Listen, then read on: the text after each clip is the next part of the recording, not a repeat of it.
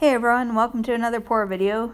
Uh, in today's video, I'm playing around with Kama Pigments again, and it kind of turned into a negative space painting, even though I didn't really have a, uh, any intention of it being negative space, but uh, I guess that's just kind of what it turned into. Um, as I was painting it, I thought that it was uh, fighting me every step of the way, but I think that my brain was just fighting me rather than the painting. Uh, as I was reviewing the footage of the video, I was actually really upset that um, I lost the look of the first part of this video. I think that it right here is super dramatic looking and pretty cool. But for some reason I had it in my head that I wasn't liking it. So I threw a ribbon on, and the ribbon initially uh, looked really cool, but then I had to spin it because um, that's actually quite a lot of paint on there.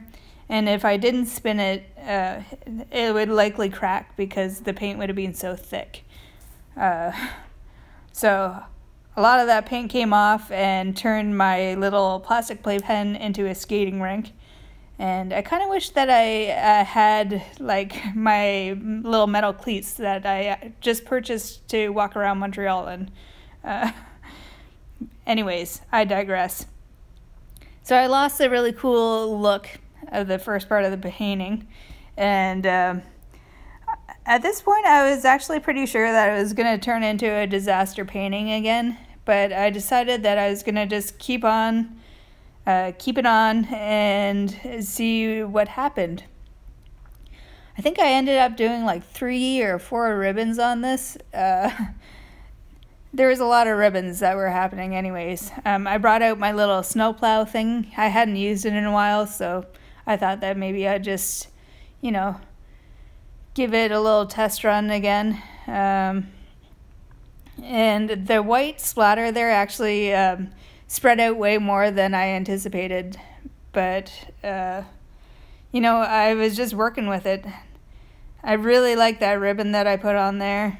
Um, I wish that the little squiggles had um, maintained his, their integrity uh, when I spun, but I kind of lost it. Um, and then I had a big problem with this white. I mean, I scraped it all off, but I had put white over top of color. And then when I tried to smooth it out, obviously the color came up through the uh, white. So I had, there's a whole section of this video that I cut out because I had to make more white paint again. Um, and I started planning another ribbon. Um, I thought that the painting really needed like a little vocal point and I think that this really accomplished um, that need. I uh, think that it ended up really uh, cool looking. There's a lot of little interesting features going on there. I'm just cleaning up my white paint again there.